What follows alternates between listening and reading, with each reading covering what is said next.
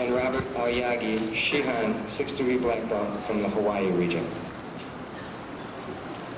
His uke will be Jeff Clayton and Dennis Breslin.